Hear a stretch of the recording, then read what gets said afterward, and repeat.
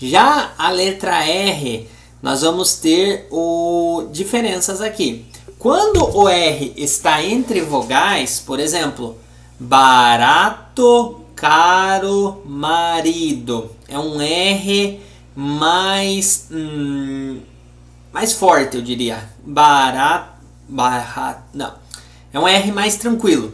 Barato, caro, marido. Quando o, vamos lá, refazendo. Quando o R está entre vogais e é um R, é um som tranquilo. Barato, caro, marido. Mas quando a, cons a consoante antes igual também, mas quando tem uma consoante antes é igual também, desculpa. Atrás é um som bem suave. Estrela, tra, trabalho.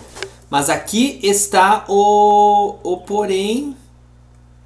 Opa, eu acho que esqueci de um slide aqui. Mas tudo bem. Faço ao vivo. Quem sabe faz ao vivo. Quando tem dois R's, é um som mais forte. Por exemplo, eu vou escrever aqui no chat ao vivo. Prestem atenção. Carro. Ho, ho, ho, ho. Carro. Um carro. Carro caro. Aqui é a melhor frase possível.